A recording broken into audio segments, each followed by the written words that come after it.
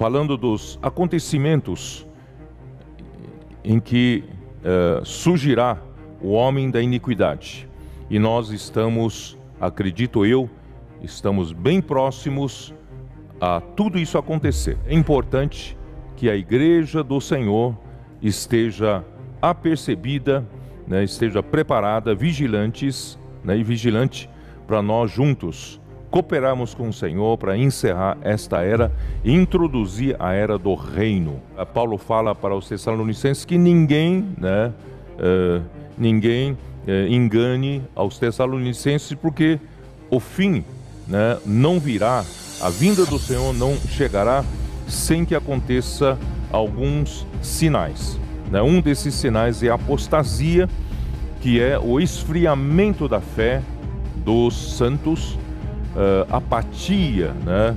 na fé, nas coisas espirituais e também uh, uh, o, o, o esfriamento do amor para com Deus, para com a igreja, para as coisas do Senhor e também a chegada do homem da iniquidade. O homem da iniquidade, segundo esse capítulo, não pode chegar enquanto não, não se liberar daquilo que o detém, já que o iníquo é sem lei, né? a iniqui...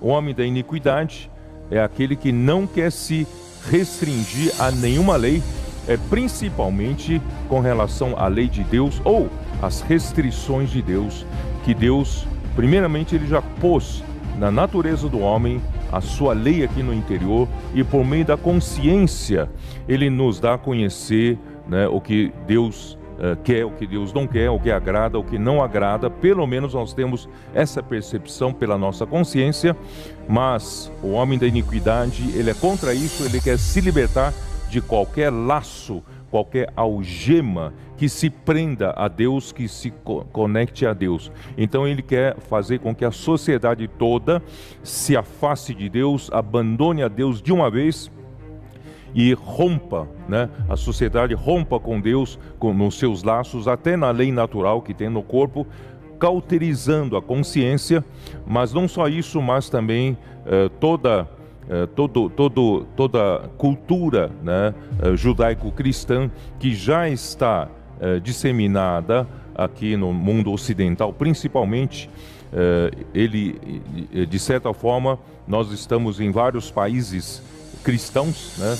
E, e, então, hoje, o Ministério da Iniquidade trabalha justamente para uh, demolir, para destruir esses conceitos né, uh, cristãos esses conceitos da lei de Deus que Deus deu para o povo de Israel, para que uh, o homem da iniquidade, quando surgir, ele não tenha uh, nenhuma, nenhum desses impedimentos né, do conceito moral, conceito ético. Quer dizer, tudo pode. Quando ele chegar, não haverá mais referências, né, uh, o homem então estará livre para praticar toda sorte de injustiça, toda sorte de impiedades e também de perversão.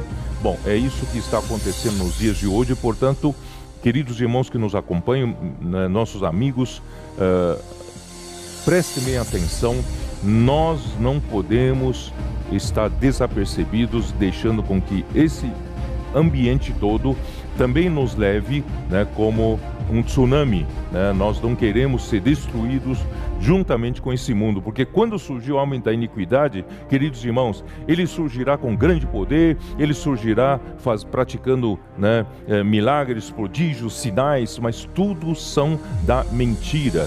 E durará pouco tempo três anos e meio, quando ele surgir, quando ele se manifestar mesmo como anticristo, já estaremos no meio dos últimos sete anos né, da, da, da, do retorno da história de, de Israel, né, a última semana de Daniel, que serão sete anos, e quando ele realmente se manifestar como anticristo, já será no meio desses sete anos. E nesse momento ele vai virar a mesa e, e ele vai levar a, os, os reis que estarão sob o seu comando para perseguir o povo de Israel uh, e, e, no fim Deus usará né, a igreja juntamente com Cristo depois do casamento de, de Cristo e a sua noiva, a igreja, e nós vamos derrotar né, na última batalha de Armagedão esse o anticristo, o falso profeta e todos os seus exércitos, aí vamos limpar esse universo de toda rebeldia.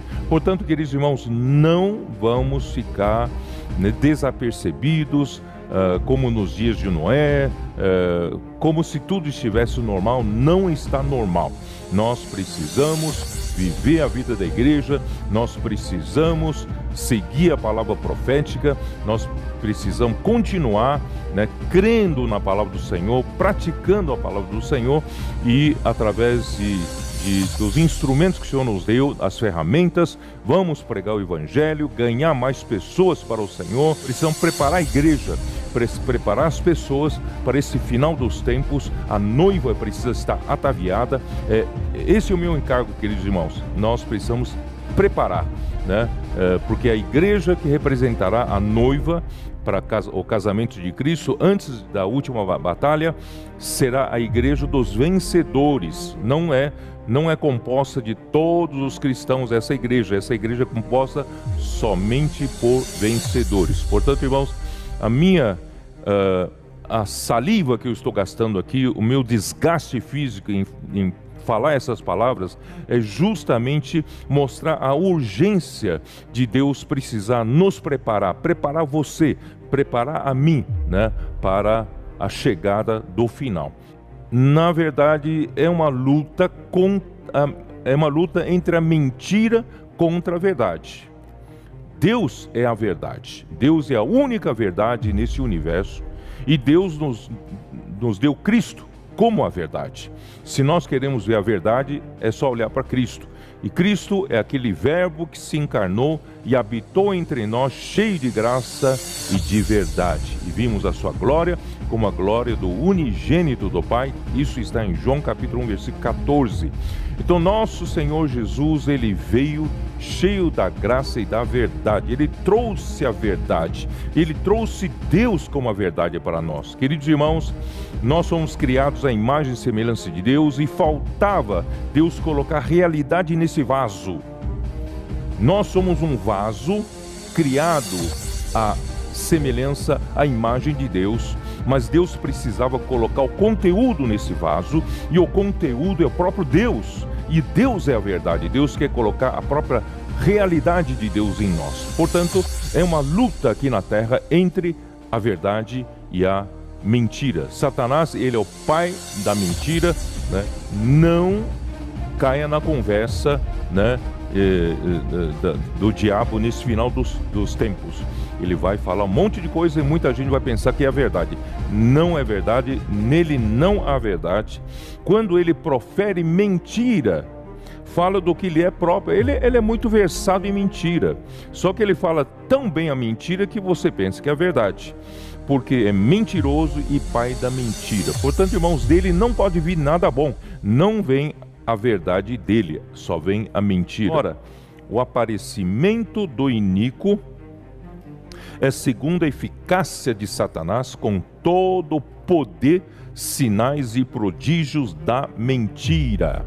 Então ele vai fazer um montão de coisas que o mundo vai se admirar, o mundo vai dizer: puxa vida, nós nunca vi, vimos nenhum homem fazer isso, mas são é o poder e sinais e prodígio é da mentira e com todo engano de injustiça aos que perecem porque não acolheram o amor da verdade para serem salvos. Deus, ele está ele está dando oportunidade para todas as pessoas do mundo poder acolher a verdade. Então, se você não acolhe a verdade, você vai perecer, né?